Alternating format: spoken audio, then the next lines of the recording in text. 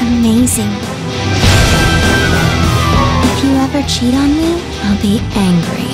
You still doing the two-ton and tango? Don't say it like that. It wasn't on purpose. Last night was really something, huh? Uh, it's not what you think. You got into this even though you knew I was pregnant. Struggle and struggle. I was being chased by something crazy. What exactly do you want? I don't know. I mean, who knows what'll happen in the future? We all have the same fate here. If you don't want to die, you've got to climb. No, no, this is just a nightmare.